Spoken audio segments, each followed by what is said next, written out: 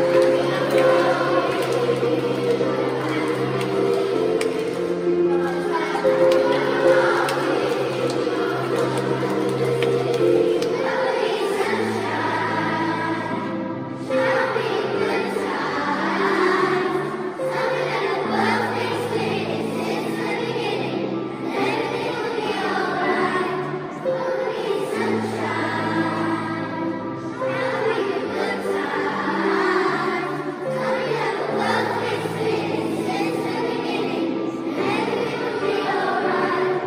fantastic for us uh, today to see uh, the work of the foundation really coming to fruition.